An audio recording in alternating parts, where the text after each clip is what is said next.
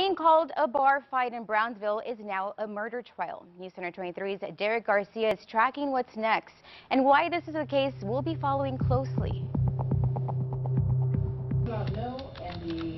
37-year-old Jesus Genaro Salas pled not guilty to the murder charge he's facing. The Brownsville native is accused of punching 49-year-old Hugo Tapia Flores at Las Jarras Bar on May 26. Police reports say Flores was punched in the face and fell into a coma. The report also says the two men were arguing before Flores bumped into a woman Salas was with. After the blow, police arrived, but Salas fled on foot. And an anonymous source identified Salas. He later turned himself into police. On the same day, 49-year-old Flores never woke up from his coma and died while hospitalized.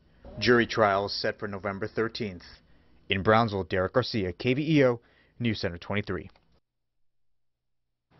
A tip led authorities to Salas. If you have any information on any other crimes or cases in Brownsville, please reminding you to call authorities.